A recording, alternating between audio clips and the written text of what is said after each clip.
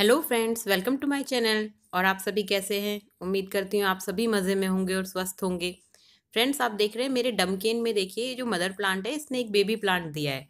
और इसको मैंने बहुत पहले छोटे में ही अलग नहीं किया है, ये अब काफ़ी बड़ा हो चुका है। और अब मैं इसे अलग गमले में लगाऊँगी।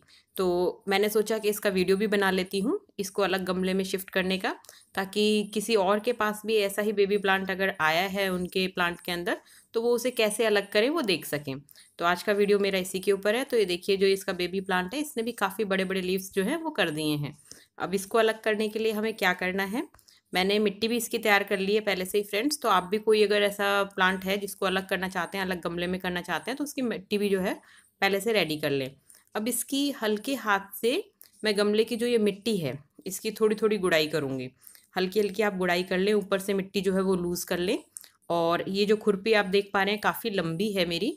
तो इस खुरपी को ही मैं गमले के जो ये किनारे हैं सारे राउंड में, इसमें लंबाई में घुसा के भी इसको निकालूँगी। आप ये देखिए थोड़ा सा आपको दिख रहा होगा कि या तो ये इसका बेबी प्लांट और आ रहा है यहाँ से या फिर इसकी रूट्स बाहर आ रही हैं। तो अभी जब इसकी गुड़ाई करके इसको देखेंगे, तब देखते हैं कि ये क्या चीज़ है।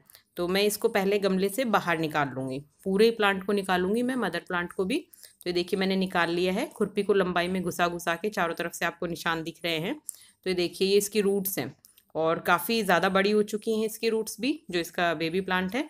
तो ये देखिए इसको हम अलग कर लेंगे। मिट्टी को हल्के हाथ से आप चाहे तो लूज़ कर सकते हैं, अगर लूज़ हो रही है। मिट्टी, ये देखिए जो मदर प्लांट है और बेबी प्लांट है, इनकी दोनों की रूट्स अलग अलग निकल आई हैं बाहर। तो ये इसके बेबी प्लांट्स की रूट्स हैं। जो कि दिख रही हैं हमें तो मैं इन दोनों को अलग करूँगी और इसकी जो ये मिट्टी है, ये पहले हटा लेते हैं। पूरे प्लांट को मैंने अब देखिए मिट्टी हटा के बाहर कर लिया और आपको क्लियर दिख रहा है कि ये मदर प्लांट से बेबी प्लांट किस नॉट से पॉइंट से जुड़ा हुआ है। तो देखिए ये इसकी रूट्स हैं सारी, जो ये बेबी प्लांट है और उस साइड ही मेरा डमकिन जो है, उसके मदर प्लांट की है।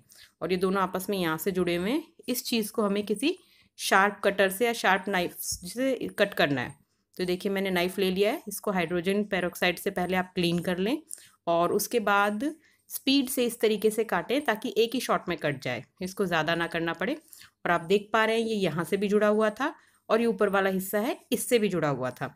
तो ये दोनों ही हमने बहुत ही अच्छे से कट कर लिए हैं और इस प्लांट को कोई ख़तरा नहीं है फ्रेंड्स आप ये मत सोचिए कि आपने अलग किया है तो कुछ खतरा है। ये देखिए, जैसे इसमें यहाँ से ग्रोथ हुई थी, ऊपर भी कई सारे नोट पॉइंट बने हैं और वहाँ से आप चाहें तो और भी प्लांट्स बना सकते हैं कट करके, पर उसका वीडियो अभी मैंने नहीं बनाया है। जब बनाऊँगी तो ज़रूर शेयर करूँगी। मैंने कट करके और ग्रोथ ज़रूर करी और प्लांट्स की भी। तो आप ये देखिए इसको, ऐसे हमने अलग कर लिया है। इसको मैं अलग गमले में लगाऊँगी और जो ये मदर प्लांट है, इसको मैंने बारह इंची के गमले में था पहले ये, और इसको अब मैंने चौदह इंची के गमले में शिफ्ट कर दिया है। इसको थोड़ा सा और बड़ा गमला दिया है ताकि ये और अच्छे से बढ़ सके। तो आप भी इस तरीके से कर सकते हैं।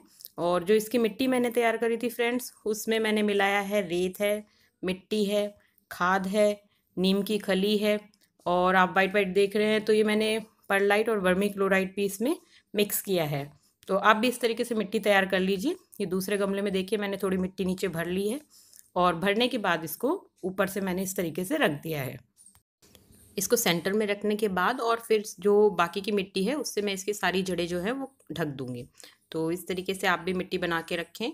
और फ्रेंड्स, मैं तो जब ऐसे वाले काम होते हैं तो उसके लिए क्या करती हूँ कि तीन चार प्लांट्स की जब ऐसी कोई शिफ्टिंग हो या कुछ रिपोर्ट करना हो तो एक साथ काफ़ी सारी मिट्टी बना लेती हूँ। तो आप भी इस तरीके से कर सकते हैं, उससे आपका टाइम भी सेव होता है। तो देखिए, सारी मिट्टी मैंने इसमें भर दी है और इसको हल्के हाथ से आप प्रेस भी कर दीजिए ताकि ये अपनी जगह पे सेट हो सके, इधर उधर लुढ़के नहीं। क्योंकि मिट्टी अभी डाली है तो थोड़ी लूज़ होती है तो उसको हल्का सा प्रेस कर देने से प्लांट सेट हो जाता है। और किसी भी प्लांट को अगर आप रिपॉट करते हैं कटिंग करते हैं तो उसको पानी देना बहुत ज़रूरी है उस टाइम पे।